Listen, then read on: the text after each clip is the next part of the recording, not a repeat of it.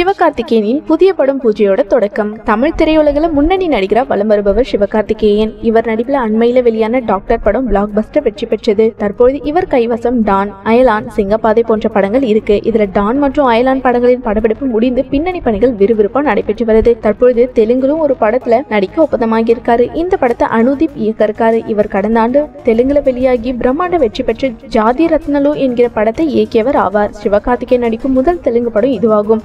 சமீபத்துல விஜய் தனுஷ் போன்ற முன்னணி தமிழ் நடிகர்கள் டோலிவுட் படங்கள்ல நடிச்சு வரும் நிலையில தற்போது சிவகார்த்திகேயனும் அந்த பட்டியலில் இணைந்திருக்காரு. தற்காலிகமா எஸ்கே டுவெண்ட்டி அப்படின்னு அழைக்கப்படும் இந்த படத்தின் படப்பிடிப்பு இன்று பூஜையோட தொடங்கியிருக்கு. காரைக்குடியில நடைபெற்ற இந்த படத்தின் பூஜையில சிவகார்த்திகேயன் இயக்குனர் அனுதீப் நடிகர் சத்யராஜ் உட்பட படக்குழுவினர் கலந்து கொண்டாங்க. சிவகார்த்திகேயனுடன் வருத்தப்படாத வாலிப சங்கம் படத்தில் நடிச்சிருந்த சத்யராஜ் தற்பொழுது ஒன்பது ஆண்டுகளுக்கு பின் அவருடன் மறுபடியும் இணைந்திருக்காரு. எஸ்கே டுவெண்ட்டி படத்தின் கதைப்படி இந்தியாவுக்கு சுற்றுலா வரும் வெளிநாட்டு பெண்ணை நாயகன் காதலித்து கரம் பிடிப்பதே மைய கருவாகும் இதனால இந்த படத்துல சிவகார்த்திகேயனுக்கு ஜோடியா வெளிநாட்டு நடிகையை நடிக்க வைக்க படக்குழு திட்டமிட்டிருக்காங்க. அந்த நடிகை யார் என்பது குறித்த அறிவிப்பு விரைவில் வெளியிடப்படும் அப்படின்னு பெரிதும் எதிர்பார்க்கப்படுது. புட்டபொம்மா பாடலை ஓரங்கட்டிய பீஸ்ட் அரபி குத்து மாஸ் காட்டும் விஜய் ரசிகர்கள். டைரக்டர் நெல்சன் திலீப் குமார் இயக்கத்துல விஜய் நடிச்சிருக்க பீஸ்ட் படம் ரிலீஸுக்கு தயாராகி வருது. பீஸ்ட் படத்தின் டப்பிங் வேலைகள் முடிந்து போஸ்ட் ப்ரொடக்ஷன் வேலைகள் துவங்கிவிட்டதாகவும் ஏப்ரல் பதினான்காம் தேதி படத்தை ரிலீஸ் செய்ய திட்டமிட்டிருக்கிறதாகவும் சொல்லப்படுது. பிப்ரவரி பதினான்காம் தேதி காதலர் தினத்தை முன்னிட்டு பீஸ்ட்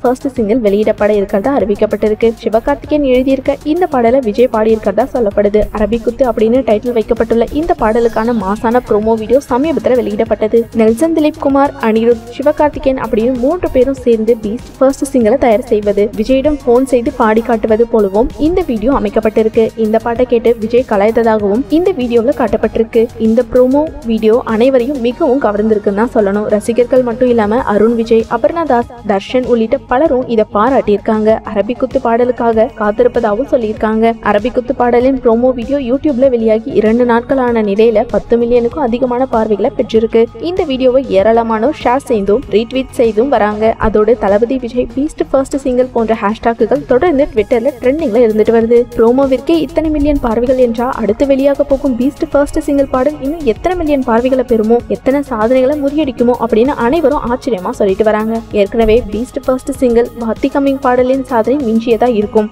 விஜய் நீண்ட நாட்களுக்கு பிறகு சொந்த குரல்ல பாடிய பாடல் அப்படின்னு பல விஷயங்களை சொல்லி ஹைப்பை எகிர வச்சிருக்காங்க. பீஸ்ட் படம் குறித்த மாஸ் அப்டேட் நடன இயக்குனர் ஜானி ஏற்கனவே வெளியிட்டு இருந்தாரு அதன்படி இவர் நடனம் அமைத்த புட்டமமா பாடலை தூக்கி சாப்பிடும் வகையில பீஸ்ட் படத்துல அரபி குத்து பாடல் இருப்பதாகவும் அந்த பாடல் விரைவில் வெளியிடப்பட இருக்கிறதாவும் அவர் சொல்லி இருந்தாரு அவர் கொடுத்த இந்த அப்டேட் விஜய் ரசிகர்களை உற்சாகத்துல அழுத்தியதுன்னு தான் சொல்லணும். புட்டபொம்மா பாடலும் உலக அளவில் ரீச் ஆச்சு. இதனால அடுத்த தளபதி அறுபத்தாறு படத்திற்கு தமன் இசையமைக்க இருக்காரு. நடன இயக்குனர் ஜானி தமிழில் ஏற்கனவே தனுஷ் நடித்த மாரி டூ படத்தில் பணியாற்றியிருக்காரு. டாக்டர் படத்தில் அவர் கொரியோகிராஃப் செய்த செல்லம்மா என்கிற பாடல் செம வைரலானது குறிப்பிடத்தக்கது. தற்பொழுது விஜயின் பீஸ்ட் படத்தில் பணியாற்றியிருக்காரு இவர். இவரு அடுத்ததா சங்கர் இயக்கும் தெலுங்கு படத்துக்கும் கொரியோகிராஃப் செய்கிறாரு